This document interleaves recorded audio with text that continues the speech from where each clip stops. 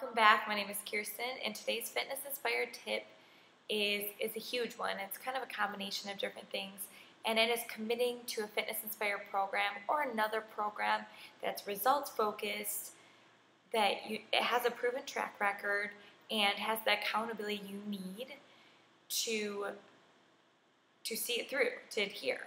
Okay, so commit to a program and if you want to up the ante a little bit, I suggest to you to have a carrot. So commit to a program and have a carrot, a personal carrot that's something that you're looking forward to. That if you adhere to the program, you're going to give yourself this little this little prize. And I also want to challenge you to make that prize non-food related.